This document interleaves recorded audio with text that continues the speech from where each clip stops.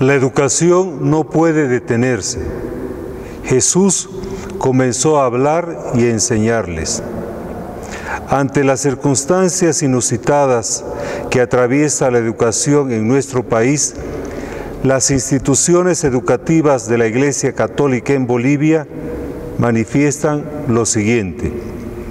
Educar es dar vida, es un acto de amor que nunca termina es sacar lo mejor de cada quien, es dar forma a sueños, es hacer visible lo invisible y maravilloso que existe en cada ser humano. Por eso, la educación no puede detenerse porque es como detener la vida, es truncar ilusiones, es detener la formación y el crecimiento humano, cultural y espiritual de miles de niños, adolescentes y jóvenes.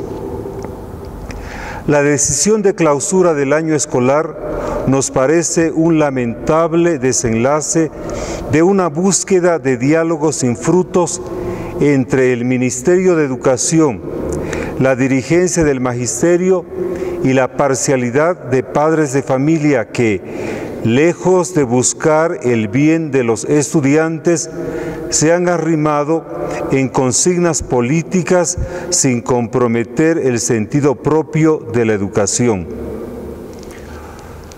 Con efecto de esto, la educación boliviana, en particular la privada, que ofrece un servicio importante al país, vive momentos de angustias y zozobra que afectan a los maestros y demás dependientes de estas instituciones educativas.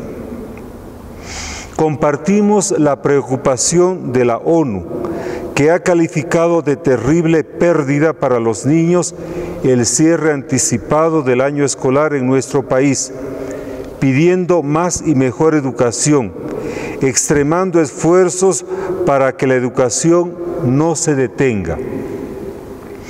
La educación católica, pública, de convenio y privada, fiel a su compromiso y mandato de educar, en estos meses ha extremado esfuerzos con creatividad y responsabilidad desde modernas plataformas virtuales hasta la puesta en práctica de los diversos medios tecnológicos, combinando modalidades entre la virtual y la distancia, con maestros que han dado la vida, llegando a la casa de los propios estudiantes con alimentos, donando datos de Internet y llevando tarea a aquellos que no tienen acceso al mismo.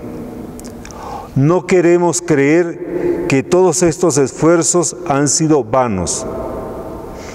Desde el mensaje de Jesús, el Maestro, estamos siempre interpelados a no claudicar en esta noble misión de educar, de acompañar a los maestros, padres de familia, niños y adolescentes que son parte de nuestras comunidades educativas. Nos impulsan a seguir buscando con creatividad, desde lo poco y sencillo, a multiplicar el pan de la verdad, de la sabiduría, del conocimiento, de la vida que crece y no puede detenerse. En nuestras comunidades educativas públicas de convenio y privadas, seguimos ofreciendo el pan de la educación. Somos conscientes que la educación va más allá de una nota, de un pase automático de curso, de una simple dimensión cognoscitiva. La educación es mirar la persona en su integralidad, como sujeto que piensa, razona, aprende, siente, crea y se maravilla. La educación es un bien supremo de una sociedad.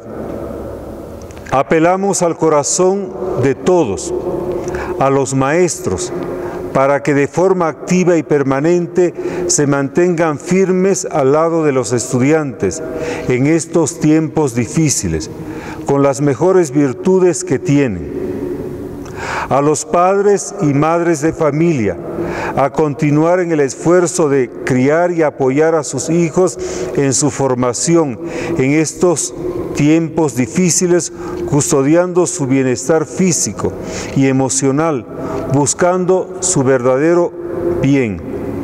A los dirigentes a deponer toda actitud de violencia y proporcionar un diálogo sereno en la búsqueda de soluciones que otorguen dignidad a nuestro país en su efemérides patria a las autoridades gubernamentales a hacer los mejores esfuerzos para la que educación no se detenga.